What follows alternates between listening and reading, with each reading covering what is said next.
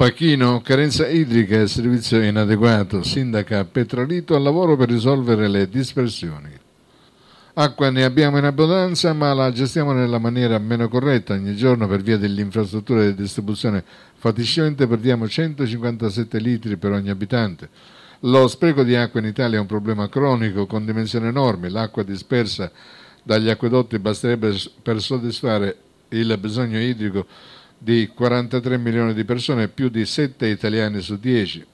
Lo rivela l'Istat in un dossier sulla gestione idrica nel bel paese pubblicato in occasione della giornata mondiale dell'acqua che si celebra oggi 22 marzo. In virtù di tali atti, ieri si è tenuto un incontro operativo alla presenza dei tecnici comunali e del Presidente del Consiglio con l'ingegnere Alessandro Aiello incaricato di redigere il progetto sulla condotta idrica esterna proveniente dalla sorgente di Scala Arancio.